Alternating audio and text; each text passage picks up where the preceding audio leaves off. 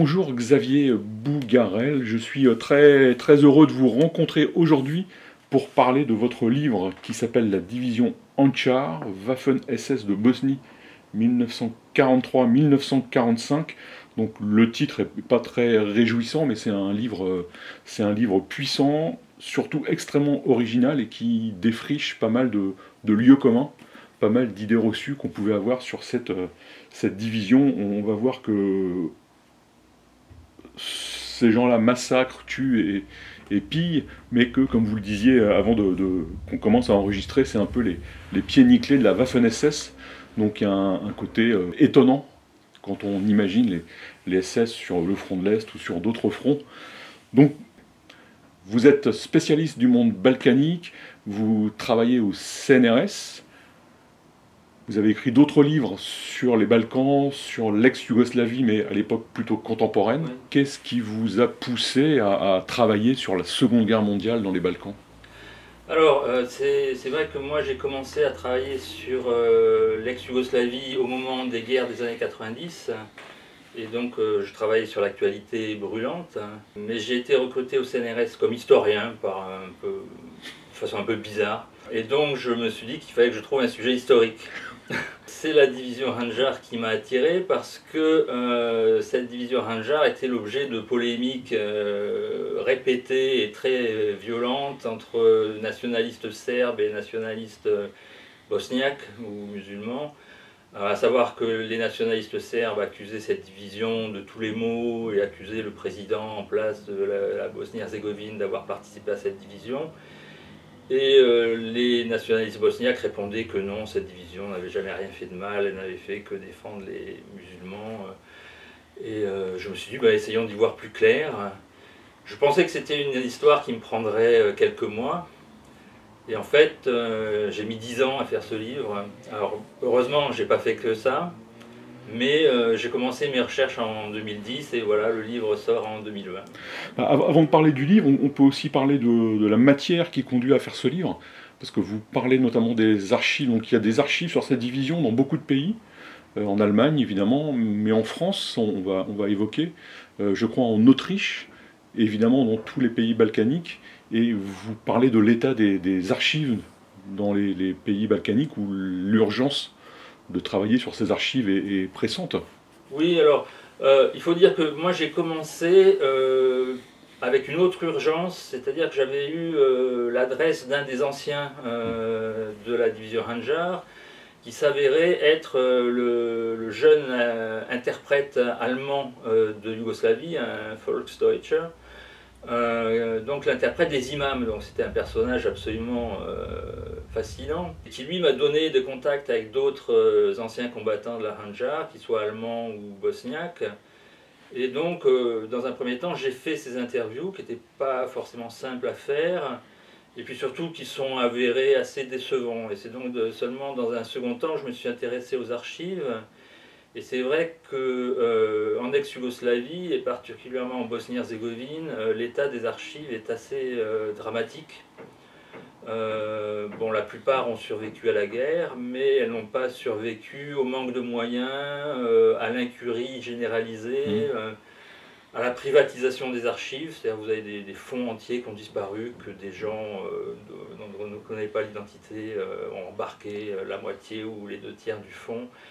Et c'est tragique hein, parce que euh, vous travaillez d'abord dans un sentiment d'urgence absolue, c'est-à-dire vous voyez des documents en vous demandant si vous n'êtes pas le dernier à les voir. Euh, enfin moi je suis particulièrement affecté par la, disparition d'une grande partie euh, des fonds concernant le mouvement des partisans.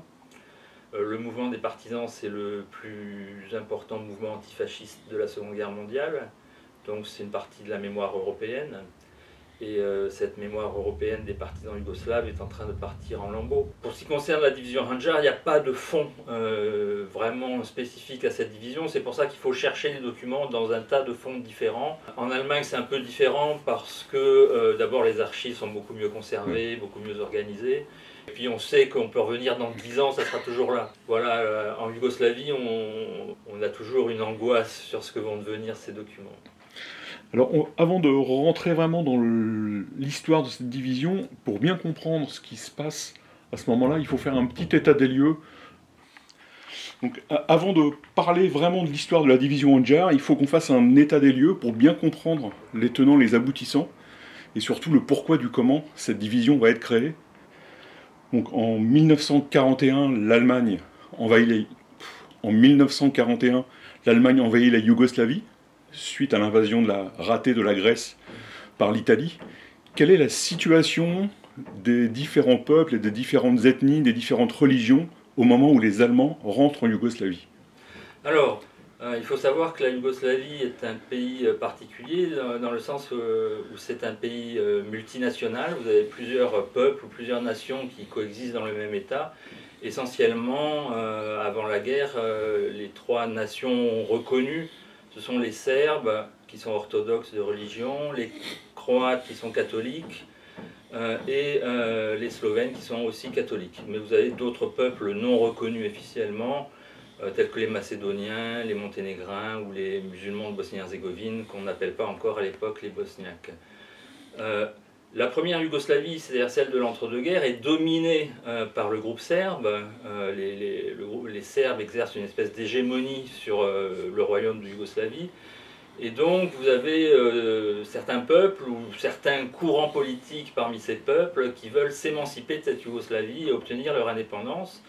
Et c'est en particulier le cas euh, des Croates, euh, qui sont représentés avant tout par le parti paysan croate, mais vous avez une minorité de nationalistes extrémistes et pro-fascistes qu'on appelle les Oustachis, qui eux veulent non seulement l'indépendance de la Croatie, mais veulent intégrer à la Croatie la province de Bosnie-Herzégovine, qui est une province peuplée de Serbes, de Croates et de musulmans, c'est-à-dire un des endroits en Yougoslavie où le mélange des peuples est le plus euh, intense et euh, où les peuples sont très difficiles à, séparer les uns des autres. Euh, et c'est dans cette Bosnie-Herzégovine intégrée à l'État croate oustachi que va se jouer l'histoire de la division Ranjar. Est-ce que ces peuples vivent, j'allais dire, pacifiquement? Comment se passe la cohabitation entre tous ces gens? Alors, la cohabitation se passe de façon euh, relativement pacifique euh, dans l'ensemble.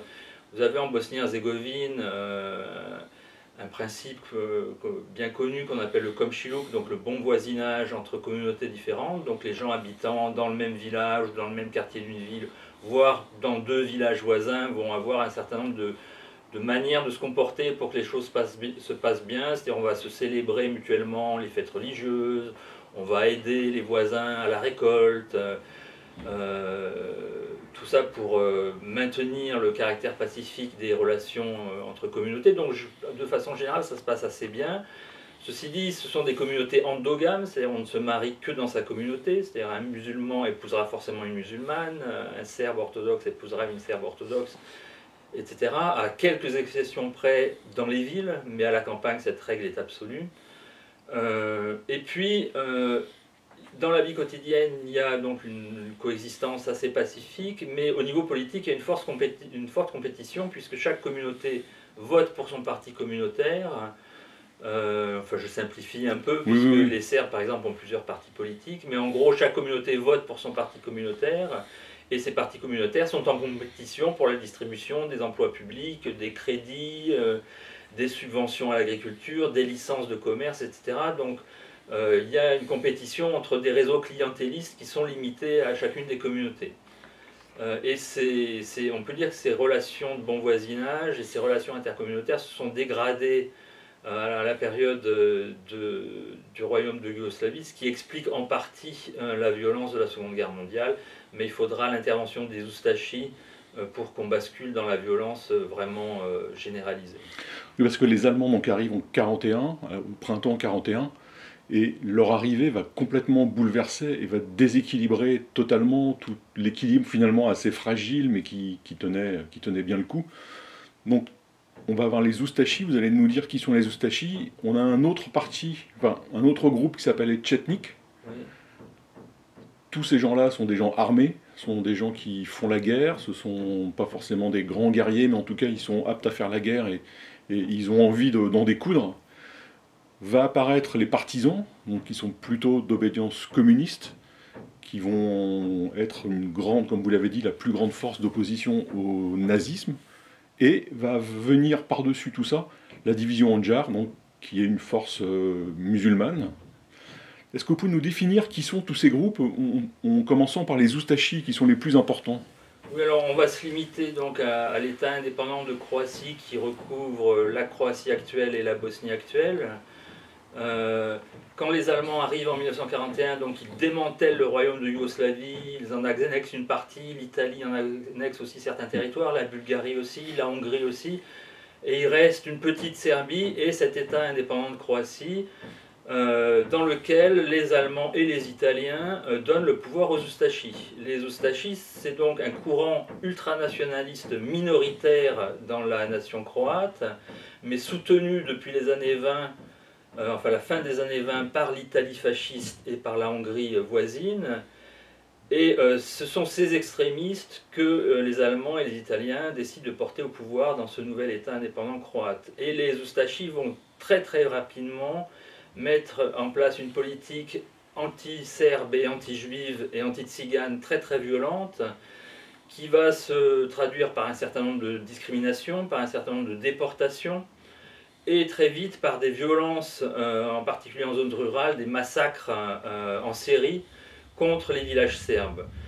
Euh, ces massacres vont entraîner une réaction de la population serbe qui va s'insurger dans les régions où elle est majoritaire, où elle domine, et ce soulèvement euh, plus ou moins spontané va être en fait encadré par deux types de résistants.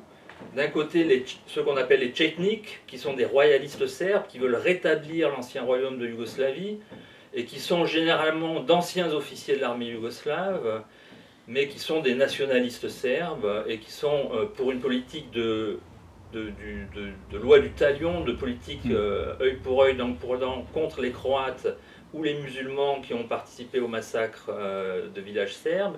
Et puis vous avez les partisans de l'autre côté, qui sont donc dirigés par le Parti communiste yougoslave. Et la politique des partisans yougoslaves est différente, puisque eux veulent rétablir une nouvelle Yougoslavie dans laquelle les différents peuples yougoslaves, à savoir les Serbes, les Croates, les Slovènes, les Macédoniens, etc., seraient euh, ensemble sur un pied d'égalité. La politique des Tchétniks euh, va euh, les pousser assez rapidement à trouver un modus vivendi avec les Italiens d'une part et un peu plus tard avec les Allemands et même les Oustachis euh, sur le plan local. Donc le mouvement de résistance des Tchétniks, les Tchétniks sont un mouvement de résistance royaliste au départ, va assez rapidement basculer dans la collaboration et ça, ça fait partie de la complexité et des surprises euh, de la situation yougoslave, c'est-à-dire d'un mouvement résistant, de résistance en 1941 qui, dès 42-43, bascule plus ou moins ouvertement euh, dans la collaboration. Les Oustachis, qui sont un groupe relativement stable, on va dire, les autres groupes, les Tchétniks, euh, même les partisans, même les, gens de la division Anjar, on peut les retrouver à des moments différents, dans des, dans des groupes différents, totalement opposés, quelquefois. Oui, alors vous avez deux choses, c'est-à-dire vous avez des mouvements établis. Euh, les, les Oustachis, les Tchétniks, les partisans sont des mouvements qui vont durer de 41 à 45. Euh, leurs rapports peuvent se modifier, c'est-à-dire les rapports entre Tchétniks et partisans vont beaucoup évoluer puisque Tchétniks et partisans se battent plus ou moins côte à côte en 1941 avant de s'affronter euh, fin 41, début 42 et devenir des ennemis jurés dans la suite de la guerre. Et puis vous avez aussi une autre chose, c'est au niveau individuel, les individus, euh, les populations elles-mêmes ou les villages en entier qui euh, adhèrent à un camp et puis changent d'allégeance, passent à un autre camp. Enfin, vous avez des phénomènes assez extraordinaires de, villages entiers qui peuvent basculer des tchétniks aux, euh, aux, partisans, excusez-moi, de villages musulmans. Enfin, les musulmans n'ont pas vraiment de formation armée au niveau national. Ils ont des milices musulmanes locales, et ces milices musulmanes locales qui se préoccupent avant tout de protéger le village, vont passer un jour des accords avec les partisans, le lendemain un, même accord avec les Oustachis, le troisième jour avec les Allemands, et tout ça circule euh, très très rapidement. Euh, et euh, sur des, des, considérations très très locales, c'est-à-dire d'une région à l'autre, les choses peuvent être très différentes. Vous pouvez avoir une région où les milices musulmanes seront en conflit ouvert avec les partisans, et puis 100 km euh, plus au nord ou plus à l'ouest, eh ben, les mêmes milices musulmanes seront main dans la main avec les partisans. Donc ça donne une situation très très complexe que euh, les Allemands et les Italiens ont beaucoup de mal à comprendre mm. et beaucoup de mal à, maîtriser. Et c'est dans cet euh, univers extrêmement complexe que les Allemands vont essayer de s'appuyer euh, sur la communauté musulmane, qui, comme je le disais, n'ont pas de formation armée sur plan national, pour créer une division SS purement musulmane et qui mettrait en place de nouvelles formes de lutte contre les partisans. Alors, la question que, je me suis posée, que je me pose encore un peu d'ailleurs, c'est pourquoi euh, Himmler ressent le besoin de créer une 13e division SS. C'est pas la dernière, il y en aura d'autres après, hein, mais la 13e division SS qui soit une division musulmane, sachant qu'au même endroit, il y a une autre division SS qui s'appelle la division Prince Eugène, Eugen, qui là est constituée de Volksdeutsche, donc mm. d'Allemands euh, présents sur le territoire de l'ex-Yougoslavie. Pourquoi Himmler décide de créer une division SS musulmane? Alors, euh, il y a plusieurs choses. D'abord, euh, la Yougoslavie n'est pas pour les dirigeants nazis une priorité. La priorité, c'est clairement le front de l'Est, et donc il faut alimenter le front de l'Est avec le maximum de troupes possible, et donc en engager le moins possible mm. en Yougoslavie. Euh, pour ce faire, l'idée naît assez vite de recruter localement des combattants locaux euh, qui sont encadrés par les Allemands, mais qui fourniront la troupe locale, et donc ça fera autant d'Allemands en moins à envoyer euh, dans les Balkans. c'est d'abord la Wehrmacht qui pratique ça, avec ce qu'on appelle les divisions légionnaires. Euh, la plus connue, c'est la division du diable, hein, Vraja Divizia en serbo-croate où euh, les combattants sont croates au sens oustachi du terme, donc soit catholiques, soit musulmans, et les officiers sont allemands. La Waffen-SS, dans un premier temps, euh, ne veut pas mener ce type de politique parce que ça serait rompre avec le principe que euh, ne se trouvent dans la Waffen-SS que des Germains, des Germaniques. C'est pour ça que la Waffen-SS recrute dès 1942 les Volksdeutsche, les Allemands de la région, dans la division Prinz Eugen, donc la 7e division SS, mais il faut un certain temps pour que les dirigeants SS décident à franchir le pas de recruter des non-germaniques et décident de mettre en place une division SS croate. Euh, au départ, l'idée c'est de faire une division SS croate. Et puis Himmler, euh, dans ses discussions avec euh, le Mufti de Jérusalem, euh, avec Hamin al-Husseini, est convaincu par l'idée de créer une division spécifiquement musulmane. Alors il y a une raison idéologique, c'est que Himmler fait partie de ces dirigeants SS qui sont fascinés par l'islam. C'est même sans doute celui qui est le plus fasciné par cette religion. Euh, qu'il perçoit comme une religion guerrière. C'est-à-dire pour lui, le, christianisme, c'est une religion de, faibles, de victimes, qui se laissent marcher sur les pieds, alors que les musulmans sont des combattants, que le prophète euh, Mohammed est un combattant, un chef de guerre, et donc l'esprit, pour lui, l'esprit de l'islam, cet esprit combattant est beaucoup plus proche du national-socialisme que peut l'être le christianisme.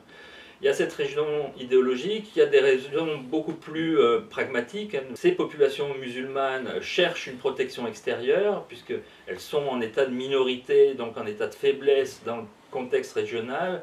Et donc ce sont des, populations, qu'elles soient bosniaques ou albanaises, qui cherchent un protecteur. Et la Waffen-SS peut se poser en protectrice de ces populations musulmanes, leur fournir des armes, les encadrer, et donc euh, ainsi les insérer dans la Waffen-SS. Mais la création de la 13e euh, division SS, euh, de la Hanjar, est une double rupture du point de vue de l'histoire de la Waffen-SS, puisque d'une part, c'est une division non germanique, euh, faite de Slaves, et d'autre part, c'est une division qui n'est pas composée exclusivement de volontaires. Hein. il y a d'abord un appel au volontariat, mais qui ne porte pas vraiment ses fruits, puisqu'il y a 6-7 000 volontaires qui sont recrutés alors qu'on en a besoin du double au moins. Et donc euh, la Waffen-SS va euh, recourir au recrutement forcé, y compris au sein de l'armée croate, c'est-à-dire va aller puiser dans l'armée croate les soldats et les sous-officiers ou officiers musulmans. Cette rupture avec le principe du volontariat est aussi extrêmement importante dans l'histoire de la Waffen-SS. Oui, et puis on peut, on peut douter de leur, euh, j'allais dire, de leur ferveur idéologique aussi.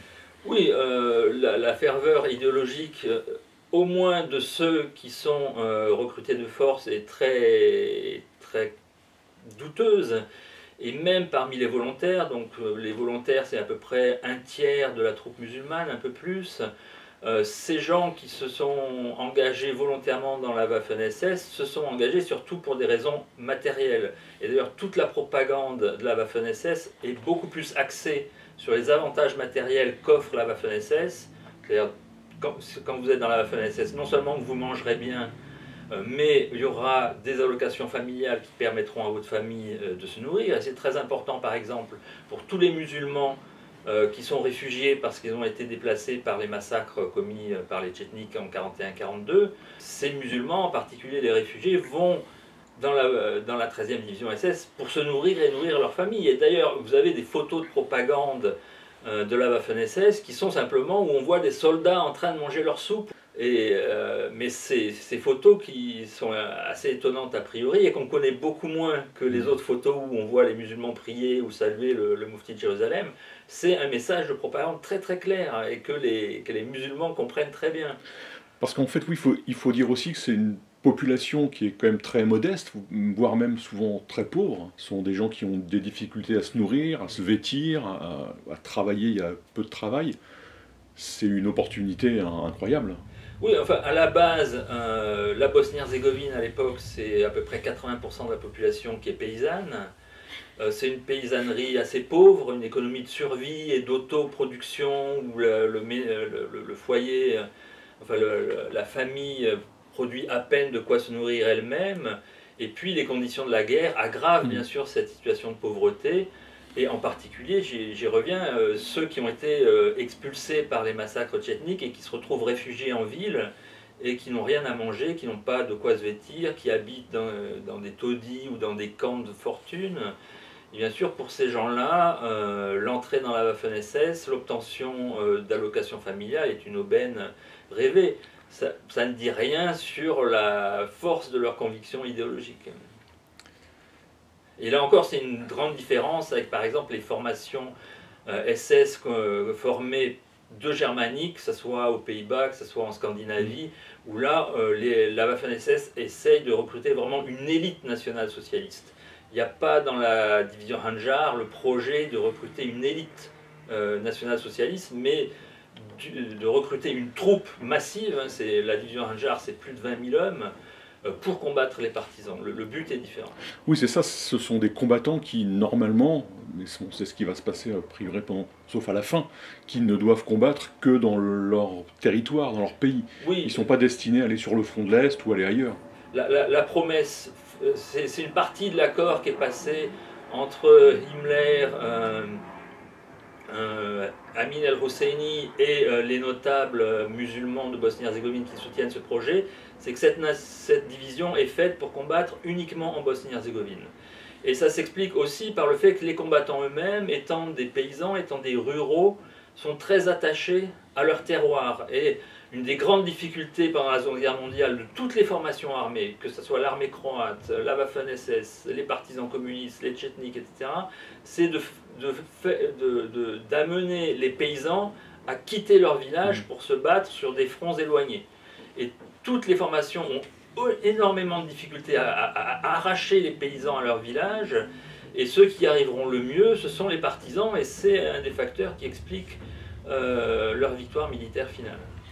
Alors, dans toute cette, euh, cette division SS, pareil, moi j'ai découvert beaucoup de choses. J'ai découvert qu'il y avait des imams SS. Oui on se dit que c'est logique, mais euh, il y en avait quand même un certain nombre, beaucoup même j'ai trouvé. il y avait même une école des imams à Guben. Comment, comment a été créée cette école? J'ai découvert ça, j'ai trouvé ça absolument euh, effarant d'avoir une école spécifique des imams, sachant que la religion, comme vous l'avez dit, la religion catholique ou protestante est combattue très, très durement par les nazis. Alors, euh, un autre aspect important de la division euh, Hanjar, c'est qu'elle doit servir de vitrine de propagande euh, à destination du monde musulman. Euh, c'est-à-dire les, les, nazis veulent se servir de cette division dont la troupe est musulmane pour promouvoir une convergence de vues entre le national-socialisme et l'islam. Et euh, c'est pourquoi on décide, enfin les dirigeants nazis décident, en accord toujours avec Amin al-Husseini, de mettre dans la division des imams qui seront à la fois des aumôniers militaires, donc qui vont s'occuper du bien-être physique et psychologique des soldats, mais qui seront aussi plus des commissaires politiques qui travailleront justement à ce rapprochement souhaité entre national-socialisme et islam.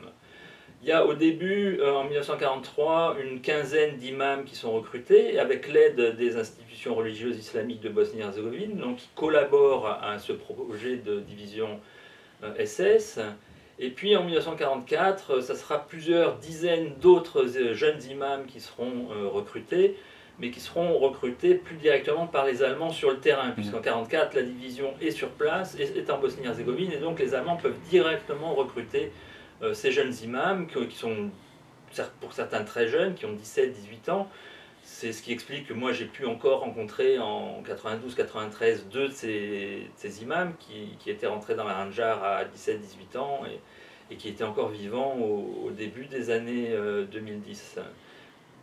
Euh, et ces imams vont jouer un rôle assez important dans la division, d'encadrement de la troupe, de motivation de la troupe. Ce sont des gens qui ont une autorité, une vraie autorité sur la troupe, même si le niveau de pratique religieuse n'est pas très élevé. Mais ce sont des, gens éduqués, plus éduqués que la moyenne de hmm. cette troupe paysanne qui est pour la moitié analphabète. Euh, c'est pour ça qu'on sourit quand on voit certaines images de la Ranjar qui circulent beaucoup, quand on voit par exemple ces soldats de la Ranjar lire une brochure sur islam et judaïsme. Euh, en allemand. Euh, euh, et on voit que c'est un montage complet de la propagande allemande, puisque c'est impossible. Non seulement ces soldats sont pour la moitié analphabètes, mais en tout cas, s'ils devaient lire une brochure sur l'islam et le judaïsme, ils la liraient en croate, ils ne la liraient pas en allemand. Donc le, montage est grossier. Et c'est un montage qui s'adresse à l'opinion publique allemande, qui ne s'adresse même pas au, public de Bosnie-Herzégovine. Est-ce qu'on sait ce qu'on leur apprenait à ces imams? C'est une question très, très naïve. Hein quel était le programme? Est-ce qu'il y avait des cours? Parce que j'imagine qu'il n'y a pas de cours de religion, les Allemands ne sont pas forcément traversés dans l'islam. On, sait à peu près ce, qui est, enseigné, euh, ce qui est enseigné dans, dans, ces cours. Il y a euh, des cours sur la religion musulmane, surtout pour les, les jeunes imams de l'année 44 qui n'ont pas forcément des connaissances religieuses très développées. Donc par des imams plus âgés et mieux formés, euh, on, renouvelle ou on approfondit leur connaissance de l'islam. Il, y, a des cours sur le rapport entre islam et national-socialisme. Et ça, c'est assuré en 1943 dans une école à Babelsberg par un officier SS euh, allemand qui s'appelle Heinrich Geise. Et puis en 1944, quand est créée cette école pour imams à Guben, en Silésie, ce sera euh, un imam euh, qui s'appelle euh, Haji Alic, qui euh, sera spécifiquement chargé de ce cours sur les liens, les convergences entre islam et national-socialisme. Et puis vous avez des enseignements plus, disons, ordinaires sur euh, ben, le fonctionnement de la Waffen-SS, les grades. Il faut bien que les, mhm. les imams connaissent les grades pour savoir comment s'adresser à qui, le maniement des armes, etc. Mais enfin, le, le gros de, de l'enseignement, c'est sur islam, islam et national-socialisme, enfin tout ce qui va faire le, le substrat idéologique de la division Hanja. Est-ce qu'on sait, est-ce qu'on peut connaître le degré de, dire, de, pénétration de, ces idées auprès de, ces jeunes imams. Je ne sais pas si on peut le savoir, hein, c'est difficile Alors, ça, ça, dépend des imams, c'est-à-dire les, les, imams de 1943 ont été recrutés dans, c'est le gratin euh, de la, des jeunes euh, imams de Bosnie-Herzégovine qui est recruté, hein. ils ont fait euh, les grandes écoles religieuses de Sarajevo, pour certains ils sont partis faire des études à l'étranger, plusieurs d'entre eux à l'université de Al-Azhar euh, au Caire, donc qui est la grande université islamique euh, de l'époque. Et euh, ces imams-là, on peut les, situer parce qu'ils ont, écrit dans la presse avant leur entrée dans la division Hanjar, donc on peut voir quelles étaient leurs opinions. Un imam au moins, qui est Hussein Jozo, dont on voit que même avant son entrée dans la division Hanjar, il a des prises de position politiques qui sont très proches des idées nationales socialistes. Bon, par exemple, c'est quelqu'un qui écrit plusieurs articles ouvertement antisémites dans la presse croate. Hein, et c'est pas un hasard si c'est lui qui sera le directeur de l'école de mm. Gouben. C'est parce que c'est sans doute l'imam, pour autant qu'on puisse en juger, dont les idées sont les plus proches du national-socialisme. Je dirais pas que c'est un nazi, mais c'est vraiment quelqu'un qui a des convergences fortes avec l'idéal national-socialiste dans toutes ses composantes, y compris l'antisémitisme. Pour d'autres imams, euh, la convergence avec le national-socialisme est beaucoup moins évidente. Et d'ailleurs, quand on regarde les dossiers de ces imams euh, aux archives de Berlin, Lichterfelde euh, à, Berlin, on voit que certains sont très mal notés par leur hiérarchie. c'est encore plus difficile pour les imams de 1944 qui, comme je vous le disais, sont très jeunes.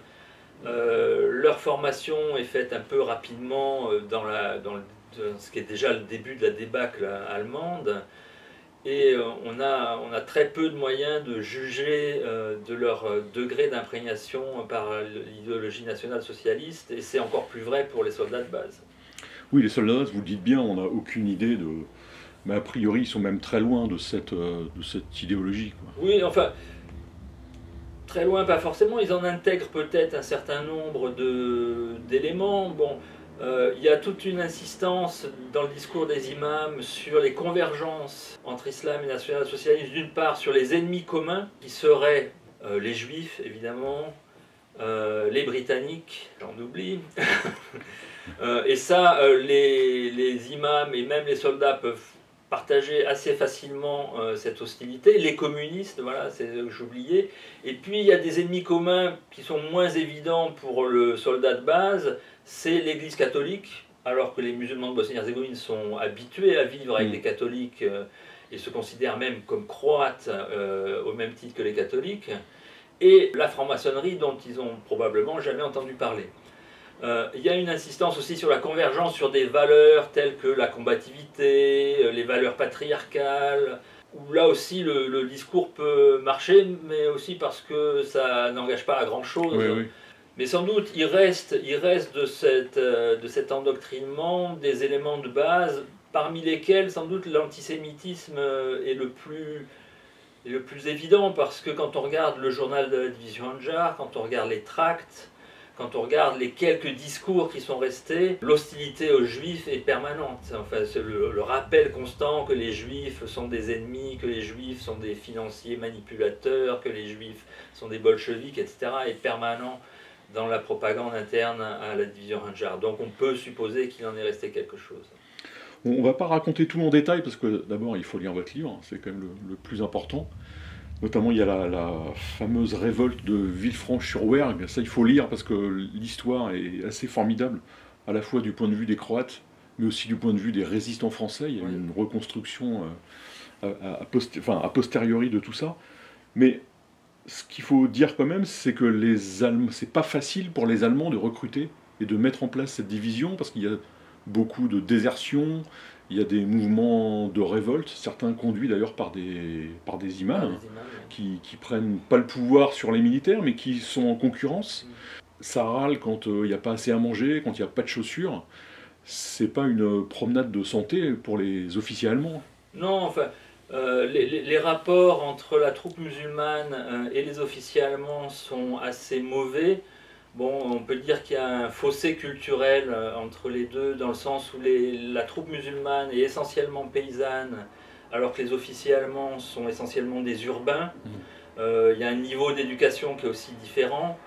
et donc un certain mépris de l'encadrement allemand pour cette troupe musulmane. D'autant plus que la plupart des officiers allemands qui sont dans la division Ranger ne sont pas contents d'être dans cette division. Ils prennent ça à la limite pour une punition. Euh, ils souhaiteraient sans doute euh, plutôt être dans une division germanique plus prestigieuse. Et d'ailleurs, un certain nombre d'entre eux viennent d'autres divisions. En particulier, beaucoup d'officiers, après la mutinerie de Villefranche de Rouer, justement, ont été pris à la 6e division SS, donc la division Nord, qui se bat sur le front de l'Est, et transférés dans cette 13e euh, division SS Hanjar et les officiers qui viennent de la division Nord vivent ça comme euh, un abaissement, quoi, comme euh, une dégradation. Donc à la base, les rapports sont pas bons.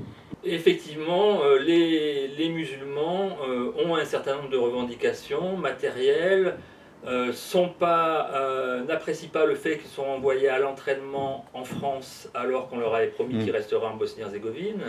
Et tout ça crée du mécontentement les imams se font les interprètes et les, intermédiaires dans la transmission de ces revendications à la hiérarchie allemande. Et puis, des fois, ça tourne, ça tourne mal. Alors, ça tourne mal une fois en septembre 1943 alors que la division est en France et le, le bataillon du génie, qui est basé à Villefranche-de-Rouergue, s'insurge et, exécute ses officiers allemands. Euh, puis la mutinerie est, réprimée dans, le sang. Et puis surtout, ça va tourner mal à l'automne 1944, euh, quand les Allemands sont déjà euh, en train de se replier des Balkans. Donc l'intérêt de la division Handjar en Bosnie-Herzégovine est plus évident. Et donc les Allemands veulent envoyer cette division Hanjar euh, combattre l'armée russe. Et combattre l'armée russe, c'est pas la même histoire que combattre les partisans yougoslaves, c'est pas les mêmes pertes, c'est pas les mêmes dangers. Et donc là, la troupe et beaucoup d'imams disent que c'est hors de question, ça fait pas partie du contrat, on va dire. Oui, puis il faut les envoyer en dehors de leur pays aussi. Oui, il faut les envoyer en Hongrie. Et il y a, à ce moment-là un, phénomène massif de désertion euh, et vous avez de nouvelles mutineries dont on ne connaît pas grand-chose à vrai dire, à part, qu'elles sont importantes et qu'au moins une d'entre elles, à Birchko euh, en octobre 1944, est dirigée par deux imams euh, qui seront fusillés par les Allemands. Donc c'est une division SS qui a aussi ça de particulier, que euh, ce n'est pas une division SS qui combat jusqu'à la mort. Hein. À l'automne 1944, vous avez cette décomposition, euh, pas complète, mais très très large de, de la troupe, avec euh, plusieurs milliers de déserteurs, et de déserteurs qui vont soit tout simplement rentrer chez eux, soit rejoindre les rangs des Oustachis parce que c'est plus confortable et c'est mieux payé, soit pour certains, mais c'est une minorité, rejoindre les rangs des partisans parce qu'on sait à ce moment-là que ce seront eux les gagnants et donc c'est toujours mieux d'être du côté du plus fort. C'est plié. Oui, l'affaire est plus ou moins pliée. Donc la division Onjar, après avoir été envoyée en France, passée en Allemagne, revient donc sur ses, sur ses terres, donc au printemps 44. Oui. Quel va être son, son travail, j'allais dire, parce que c'est un, une double, double occupation. Il y a à la fois un combat très dur contre les partisans, mais aussi contre d'autres, euh, contre les Tchétniks, contre les Oustachis, contre les Juifs. Ils vont quand même massacrer pas mal de, pas mal de gens. Et c'est aussi un, il y a aussi une, comment dire, un but politique, euh, économique et social qui est assez étonnant. C'est ça, c'est ça sans doute euh, l'aspect de la division Hanjar qui est passé inaperçu, que les, historiens ayant travaillé sur cette division n'ont pas, pas vu parce qu'ils étaient trop focalisés sur la question de l'islam.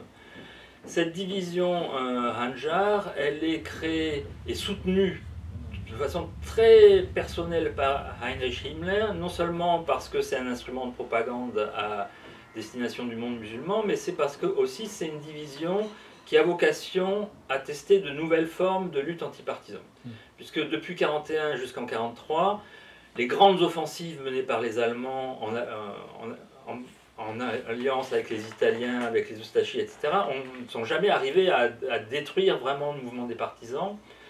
Donc euh, Himmler et d'autres officiers SS euh, mettent au point de nouvelles euh, techniques de lutte antipartisan. Et ces nouvelles techniques de lutte antipartisan, elles se résument à deux choses. D'une part, c'est au lieu de lancer des grandes offensives dans lesquelles les troupes vont ne, faire que traverser finalement les villages et euh, rester complètement aveugle aux structures clandestines du mouvement des partisans, eh bien on va avancer de façon beaucoup plus lente mais méthodique dans la campagne et passer au peigne fin chaque village pour en extraire euh, les cadres partisans euh, cachés, quoi, qui, ont l'apparence d'un paysan tout à fait normal pour vraiment déraciner, euh, exterminer euh, toute l'infrastructure, non seulement militaire, mais aussi politique, du mouvement des partisans. Et c'est ce que va faire la Hanjar donc à, son arrivée au printemps 1944. Elle a cette nouvelle façon d'avancer et de combattre les partisans qui surprend beaucoup les partisans. Les partisans n'étaient pas du tout préparés à ce genre de tactique. Et c'est pour ça que c'est une offensive qui va leur faire énormément de mal. Euh, ce qui explique en particulier que euh, les partisans avaient l'habitude, quand il y avait une grande offensive allemande, de cacher leurs blessés dans des caches creusées dans le sol. Et puis les Allemands passaient 2-3 euh, jours dans le village les blessés restaient cachés de trois jours, et puis le quatrième jour, les partisans revenaient récupérer les blessés, et tout se passait bien comme ça. Là, la division Hanja reste plusieurs semaines dans les villages, prend le temps de trouver des caches, donc trouve les blessés et les exécute systématiquement. Donc vous avez un massacre de, blessés important dans plusieurs villages de Bosnie-Herzégovine. Et ça, c'est un traumatisme pour les partisans parce qu'il y a une règle absolue chez les partisans, c'est de ne pas euh, laisser les blessés tomber aux mains de l'ennemi. C'est une question euh, à la fois de motivation des combattants, d'honneur, de, on peut dire, et le massacre des blessés par la 13e division SS, euh, c'est euh, un choc euh, très important qui les démoralise beaucoup sur le coup pour les partisans. Oui, contrairement aux Allemands, les, membres de la division Anja, ils, connaissent le pays. Ils connaissent le pays, ils, parlent la langue, ils, parlent tout ça. Et, et puis, c'est, comme je vous dis, c'est des gens qui. C'est une progression militaire inexorable, mais très très lente. Euh, et où le quadrillage du terrain est extrêmement euh, étroit, ce qui demande beaucoup de troupes, et c'est pour ça que c'est un quadrillage du terrain qui ne peut se faire qu'avec des troupes locales. Parce que faire ce quadrillage euh, extrêmement étroit du terrain avec des troupes allemandes demanderait à l'Allemagne un effort de guerre trop important. C'est pour ça que c'est avec des troupes locales qu'on peut employer ce genre de tactique. Et puis le deuxième volet, c'est après l'offensive, après la conquête du territoire, après euh, les massacres des villages partisans, après l'exécution des cadres euh, militaires et politiques du mouvement des partisans, eh bien, il y a l'idée de réorganiser complètement l'espace contrôlé, de créer un espèce de quasi-État SS avec sa propre euh, constitution, sa propre loi, ses propres chefs de village, ses propres tribunaux, euh, il y a tout un règlement, enfin, que les, lignes directrices qui sont publiées euh, par, la, division et qui sont sans doute le document le plus important pour l'histoire de cette division, ce qu'on appelle les Richtlinien, dont personne n'a parlé jusqu'à présent parce que ça ne rentrait pas dans le cadre division mhm. musulmane, fanatique islamique, etc.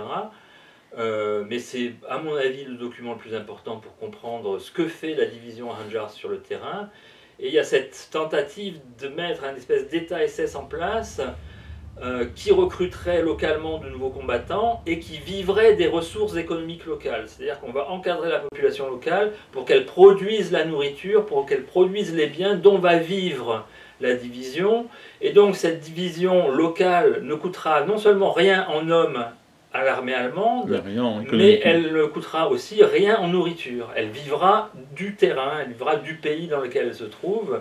Et donc l'Allemagne n'aura plus à investir en hommes ou en matériel, sauf en armement, dans la lutte antipartisan, et elle sera dégagée de ce problème-là et pourra se consacrer beaucoup plus à la guerre euh, à l'Est. Mais cette politique d'encadrement, d'instauration d'un semi-État SS, va se heurter à l'opposition des Oustachis croates, qui même si ce sont des alliés euh, en principe, voient très mal le fait que la division Hanjar les, prive de leur pouvoir local et essaye de le monopoliser. Donc vous avez une concurrence extrêmement forte entre les autorités euh, locales et la division Hanjar.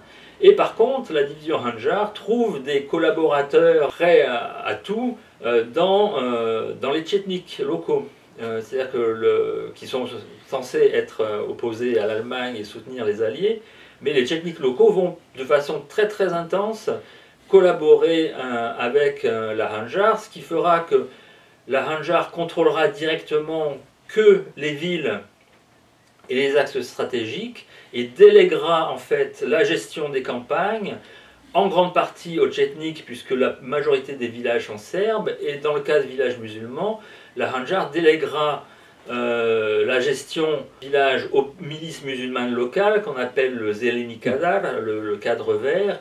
Et donc vous voyez que la, division Hanjar, en fait, va elle-même se perdre dans la complexité du terrain, euh, va être complètement incapable de, maîtriser ces, réseaux d'alliances ou d'hostilité locales extrêmement complexes et mouvants, et, va s'enfoncer euh, là-dedans et sa, politique de, mise en place d'un ordre SS va euh, aboutir à des contradictions absolument inouïes, dont la plus amusante est sans doute le fait que cette division SS Hanjar, qui est censée être une division musulmane, va en fait tolérer la distillation de l'alcool de prune pour se mettre bien avec les paysans serbes et va lever un impôt sur cette distillation de, d'alcool de, prune.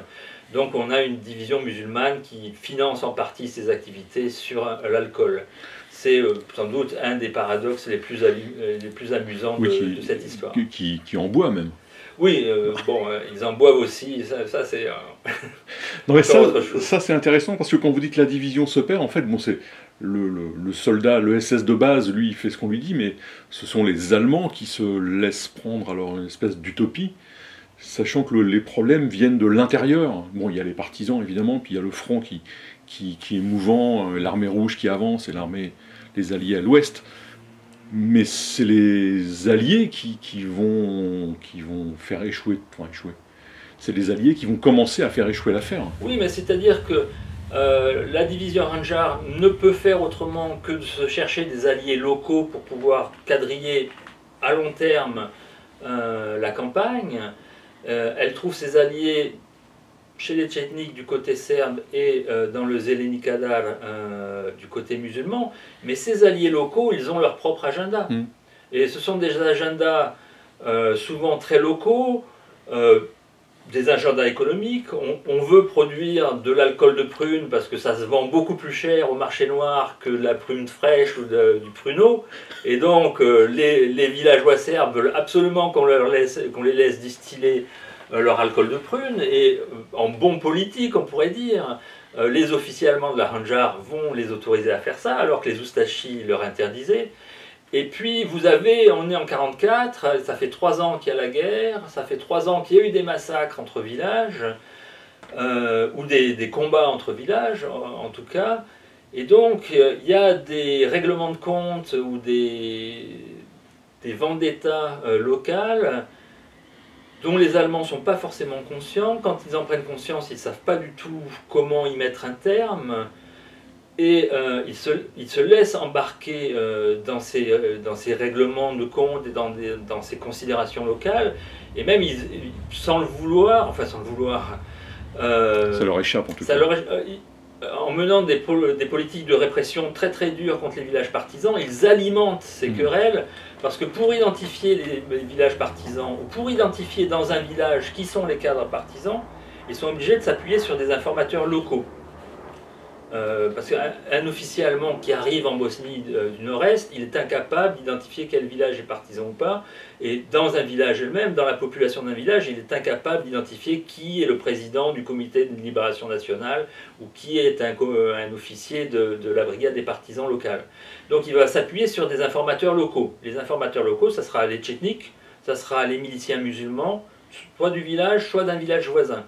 Et donc, à partir du moment où l'informateur du village voisin va dénoncer hmm. les partisans du, village en question, bah, ça relance une nouvelle, un nouveau cycle euh, de vendetta et de règlement de compte. Donc, cette division Ranjar, qui était censée instaurer un nouvel ordre et calmer euh, les luttes, les conflits interethniques qui étaient considérés comme l'élément alimentant le mouvement des partisans, eh bien, euh, en fait, ne fait que jeter de l'huile sur le feu. Alors, avant d'arriver à la fin de la division Anja, vous l'avez dit, et on voit un peu qu'il y a un côté pied nickelé, il y a un côté expérimentateur qui de toute façon va rater, quoi qu'il arrive.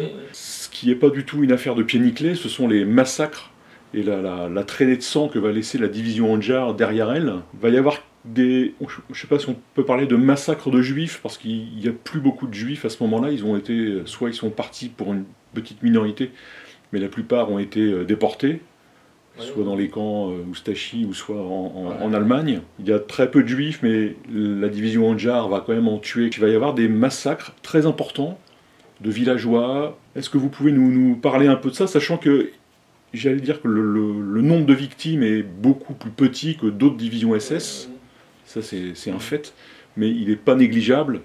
Quand la division Anjar arrive euh, en mars 1944 euh, au nord de la Bosnie et avance, enfin descend vers le sud progressivement euh, de mars à, disons, jusqu'en juin.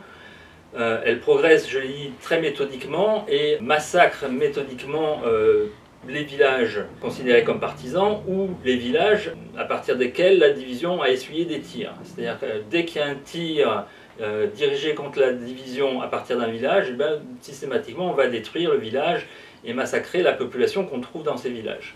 Alors souvent ce sont des massacres assez petits, d'une quinzaine, d'une vingtaine de personnes, mais ça s'explique par le fait que la population a fui. Hmm. On est en 44, donc les populations villageoises, elles, sont, elles ont eu le temps d'apprendre que l'arrivée d'une unité militaire allemande, euh, ça signifiait un grand danger euh, pour la population, et donc la plupart des gens vont se cacher et restent dans les villages ceux qui ne peuvent pas bouger, c'est-à-dire les personnes âgées, les femmes enceintes, certains enfants, ou certaines personnes qui pensent que c'est plus malin de jouer le jeu je reste pour prouver que je suis innocent. Généralement, euh, c'est un calcul dans lequel ils se trompent euh, gravement.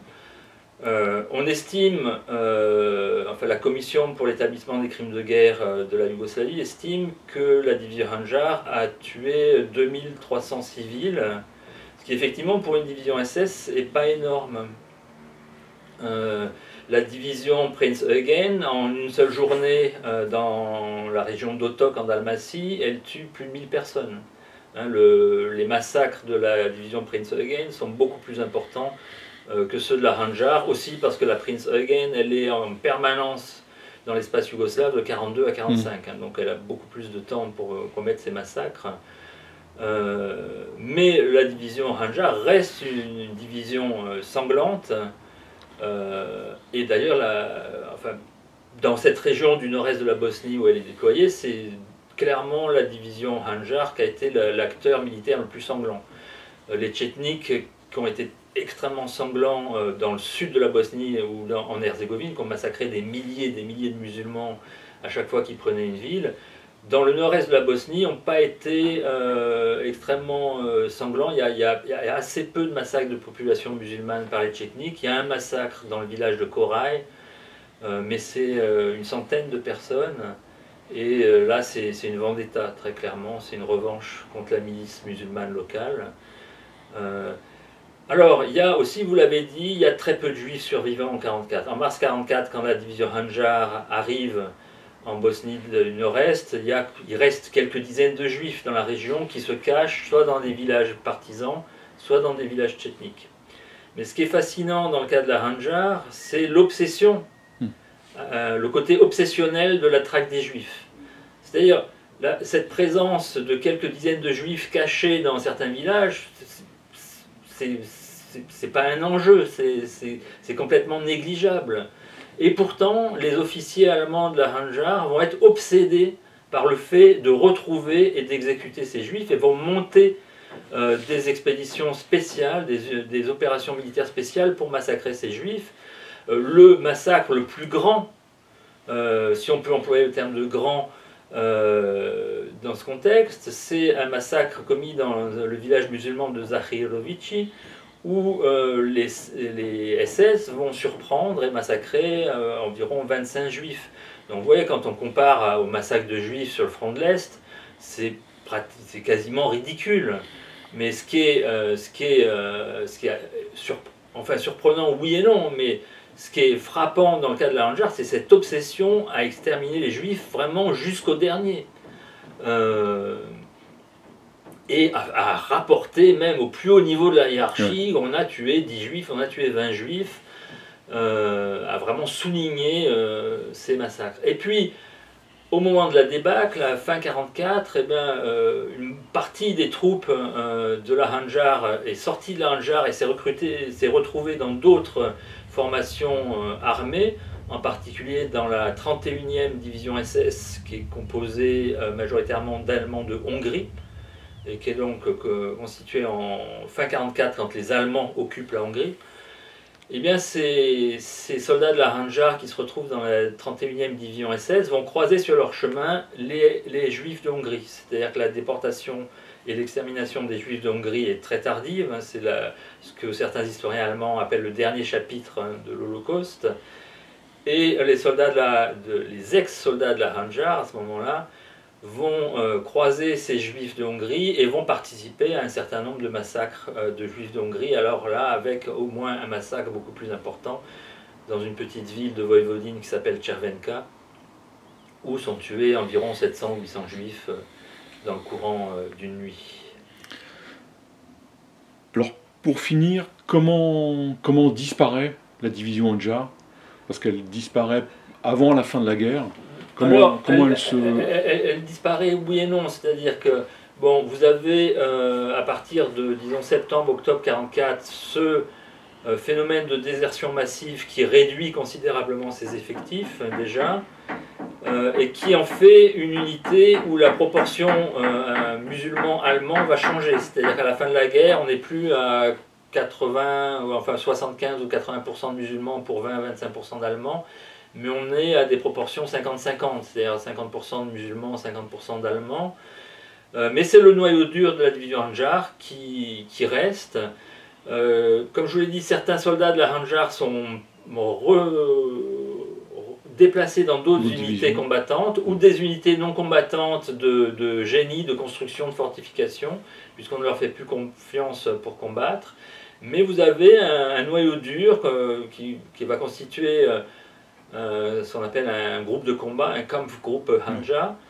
Euh, qui compte euh, environ 5-6 000 combattants, euh, donc mm. ça veut dire à peu près 3 000 musulmans, et qui lui va combattre jusqu'à la fin et va suivre la retraite des Allemands jusqu'en Autriche, et en Autriche, en mai 1945, va se rendre aux Britanniques.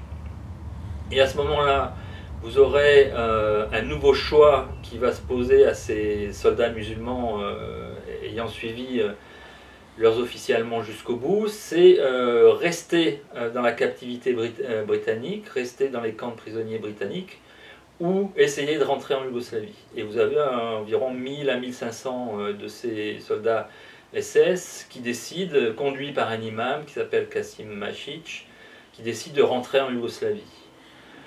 et il faut dire que c'est un choix qui est extrêmement risqué. C'est-à-dire que les partisans ont passé l'éponge pour euh, les SS qui s'étaient ralliés aux partisans en octobre-novembre 44, les ont intégrés dans les rangs des partisans sans euh, les punir ou en ne punissant que ceux qu'ils identifiaient vraiment euh, comme criminels de guerre. Mais pour ceux qui ont combattu jusqu'au bout, la chance du pardon est extrêmement limitée. Et de fait, on retrouve dans les archives judiciaires des procès de plusieurs centaines de CSS qui sont condamnés en général à de petites peines de prison, de 1 an, 2 ans, 3 ans. Et quand ils sont identifiés comme ayant participé à des unités Oustachi avant de rentrer dans la SS, ou quand ils sont identifiés à étant des gens, des soldats ayant participé directement à des crimes de guerre, euh, là vont recevoir des peines beaucoup plus lourdes, de 10, 15 ans, 20 ans, euh, voire des condamnations à mort. Ça sera un peu la même chose pour les imams puisque certains imams seront condamnés à mort alors que d'autres recevront des peines beaucoup plus légères. Ben, je vous remercie. On s'est presque tout dit sur la division Anja. Il faut lire votre livre parce qu'il y a tellement, il y a beaucoup, beaucoup d'autres choses. Notamment, il y a tous ces chapitres sur l'espèce d'utopie SS mm. sur le territoire qui sont absolument euh, déroutants et, passionnants. Il y a des, page sur le, trafic de prunes, et sur l'économie de la culture de la prune, qui sont, qui sont vraiment, euh, vraiment passionnants à lire. Et puis il y a une conclusion euh, vraiment intéressante sur la Yougoslavie d'aujourd'hui et sur la mémoire de la division Anjar. Finalement, elle a laissé peu de, peu de traces, on a l'impression. Oui, alors. En tout cas, c'est pas un enjeu de mémoire. C'est pas enfin un faux enjeu de mémoire parce que sur le plan local euh, la mémoire on a la mémoire des massacres mais on n'a pas la mémoire du bourreau. Et ça ça s'explique par la politique mémorielle du régime communiste qui quand il euh, édifiait un monument aux morts marquait systématiquement quel que soit euh, le bureau le bourreau pardon victime de la terreur fasciste c'est-à-dire que des gens massacrés par les Oustachis, des gens massacrés par les Allemands, par les Italiens, par les Tchétniks, c'était toujours victime de la terreur fasciste. Donc on, cachait l'identité concrète du bourreau, et donc la mémoire de qui a commis ces crimes est, largement, c'est largement euh, effacée euh, dans les villages concernés. Moi j'y suis allé euh, à plusieurs reprises pour essayer de, de, voir ce que les gens disaient, et en fait ce que les gens racontaient était très vague. Enfin, un souvenir très vague, voire, voire euh, quasiment ridicule. Euh, je raconte cette anecdote dans, le village de Sremka Racha, donc où a eu lieu le plus grand massacre de la division Hanjar, avec plus de 300 morts.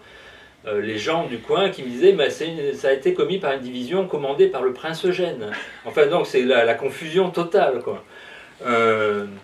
Mais c'est un faux, un faux enjeu de mémoire dans le sens où cette histoire de la division Hanjar elle a été ressortie par les politiciens locaux, du côté serbe comme du côté bosniaque, pour attiser les polémiques historiographiques incessantes qu'on renouvelle dans la Bosnie-Herzégovine d'aujourd'hui. Et puis il faut lire aussi la conclusion, parce qu'il y a une des pages très intéressantes sur le, la, la, révolte de Villefranche-sur-Werg, où là la mémoire se, j'allais dire, se, se, tord elle-même, et où cette révolte qui était célébrée comme une euh, révolte de résistants au, nazi, au nazisme, pardon, finalement les gens se rendent compte 70 ans après que c'était une révolte menée par une division SS et que les choses n'étaient pas aussi claires que ça. Alors, le, cas de la, mutinerie de Villefranche et de sa commémoration est intéressant euh, parce que euh, jusqu'à 1990, euh, on commémorait la mémoire des mutins en les qualifiant d'antifascistes yougoslaves voire de communistes yougoslaves. C'est-à-dire le régime communiste yougoslave avait tendance à annexer à son profit cette mutinerie dont on connaît très mal les motivations réelles et dont il y a très peu de doute, il y a très peu de chances que ces motivations aient été de grandes motivations politiques. Euh, le plus probable, c'est que cette, euh, cette, mutinerie a éclaté à cause de la peur d'aller sur le front russe, à cause des mauvais rapports avec les officiers, etc., et non pas au nom d'une grande cause euh, antifasciste ou autre. Et puis en 1990, quand la Yougoslavie éclate, eh bien, c'est le nouvel État croate qui va essayer de récupérer cette mutinerie de Villefranche en présentant les mutins non plus comme des antifascistes yougoslaves, mais comme des patriotes croates. Et donc, il y a toute une réécriture de la mémoire de la mutinerie euh, qui va se faire sur place à Villefranche-de-Rouergue avec un changement du monument. On va enlever l'ancien monument et mettre en place un nouveau monument. Un nouveau récit qui va se mettre en place avec des livres qui vont paraître sur cette mutinerie. Et là, on a un exemple assez caractéristique de comment la, la, mémoire du passé est constamment le produit des enjeux mm. du, moment. C'est particulièrement flagrant, voire euh, par certains côtés assez drôle dans le cas de Villefranche-de-Rouergue. Xavier, je vous remercie. C'est moi qui pour ce moment passé ensemble et je vous dis bah, à bientôt.